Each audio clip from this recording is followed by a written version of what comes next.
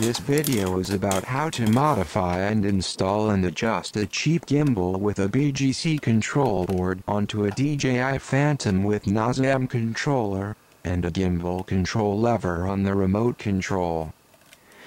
The gimbal was designed for GoPro 2 with SD card access on the right. The GoPro Hero 3 has the SD card on the left. I switched the gimbal arm around to the other side to gain access to the card slot when the camera is mounted. See first how this is supposed to work.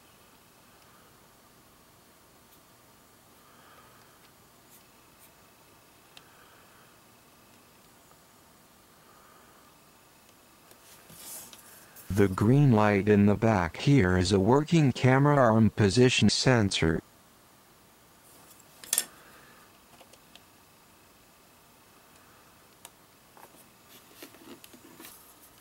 This is the power cable supplied by the Phantom. We solder it to the connector supplied by the gimbal kit.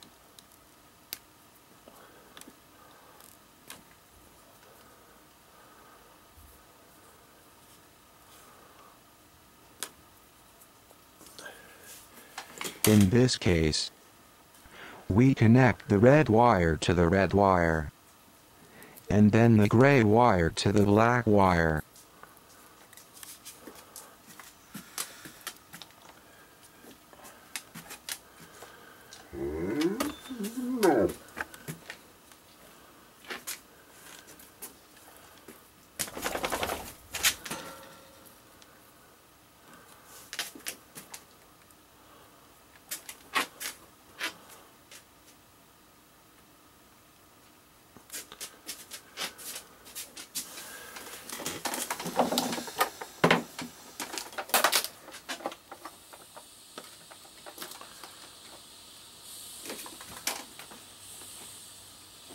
We now use shrink tube to isolate the wire endings. Because the wires have full battery power, we need to make sure that they don't come loose and touch anything else. A loose power or ground wire could cause a fire and a downed aircraft.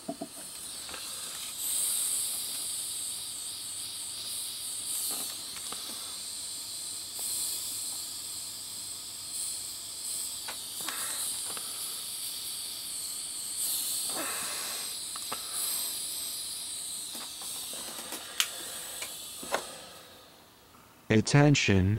The gimbal kit manual has this wrong at this time. This graphic on the Naza controller shows that the signal wires are on the bottom of the connector, closest to the little nose on the connector. I have connected a yellow wire to F1 for the roll control and a green wire to F2 for the pitch control. The gimbal power and the gimbal control wires are routed through this hole in the landing gear.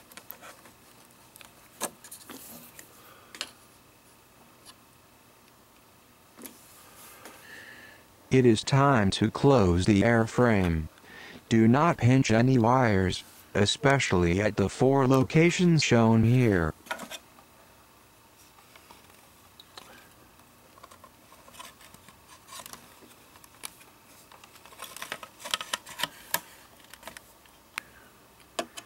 Insert and tighten the four screws needed in each arm. I strongly recommend to use removable thread lock. You will need a Phillips driver and a 2mm hex driver.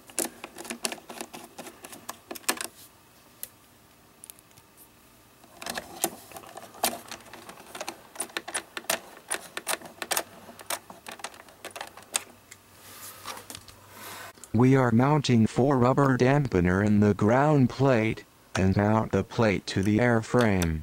I have to use the orange colored ones, because I lost the original black dampeners during a crash. Here is a quick overview of the gimbal control board. We have two connectors for the gimbal motors. We have control signal connectors, and we have a USB connector to program the board and adjust settings in the gimbal control software. Now we can attach the gimbal to the aircraft. I am going to show here how to insert the rubber dampener into the mounting hole. We need to be careful to not damage them. I modified the chopstick from the Chinese restaurant to make my own tool for this task. Make sure the tool you use does not have sharp edges.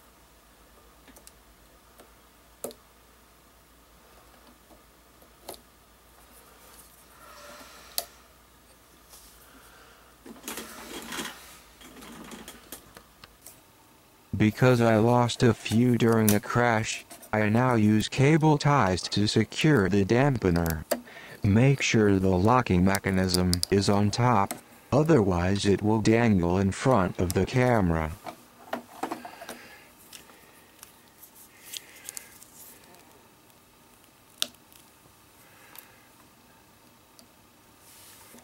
Connect the gimbal power and verify the polarity. Black connects to black and red connects to red.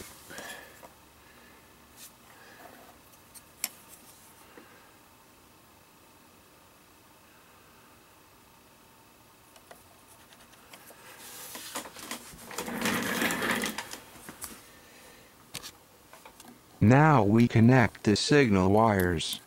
From this view, bottom right is the green wire for pitch control next one to the left, the yellow wire for roll control. If we power the gimbal from the same battery, that is connected to the Naza controller, then there is no need to connect ground and power to the signal connectors. I fix the harness with one cable tie, but make sure that there is enough slack in the wire.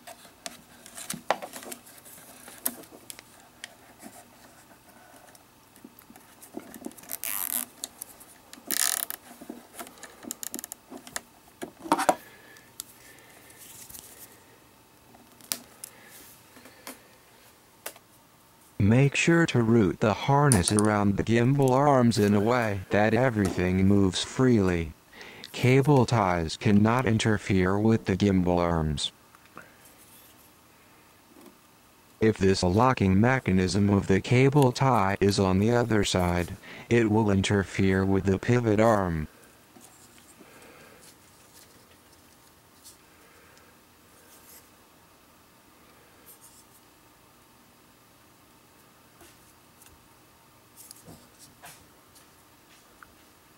We need to make sure that nothing gets caught in here. I think I should have a protective cover for the sensor wires. You may notice that I modified the camera arm. I did this because I use a GoPro 3 and I want access to the USB connector at all times. I had to grind off some aluminum to make sure the velcro strap fits and I moved the sensor to the left. I covered the sensor board in silicone to protect it from water.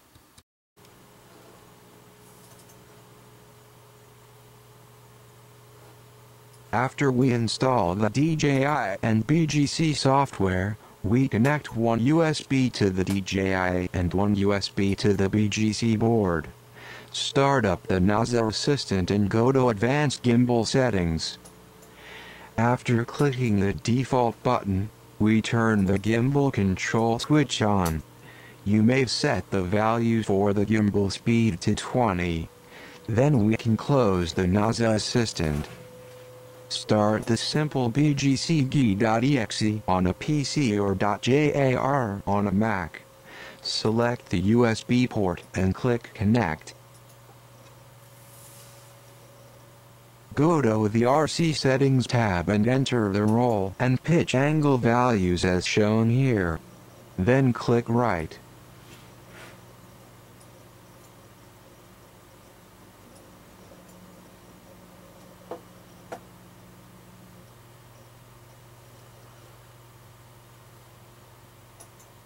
You may click red to see if the setting were written to the board correctly.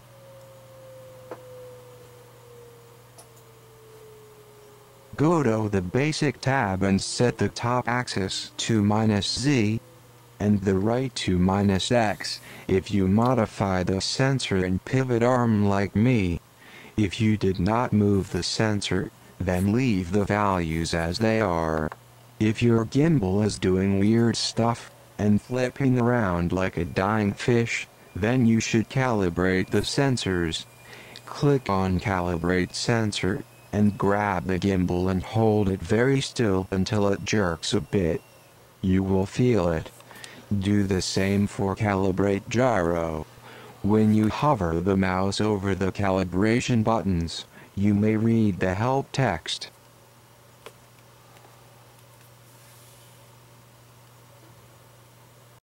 Press write to save the data to the board, and take the aircraft for a flight. Good luck and I hope you enjoyed watching this video. Don't forget to rate, comment, and subscribe, if you can.